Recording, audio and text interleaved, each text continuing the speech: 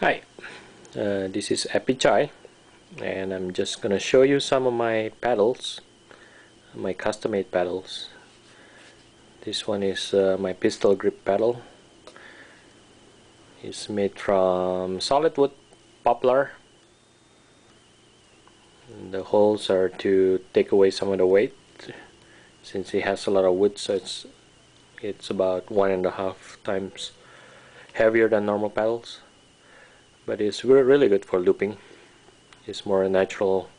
You don't have to bend your wrist like a normal racket does. And I have uh, focus 2 and focus 2 on the back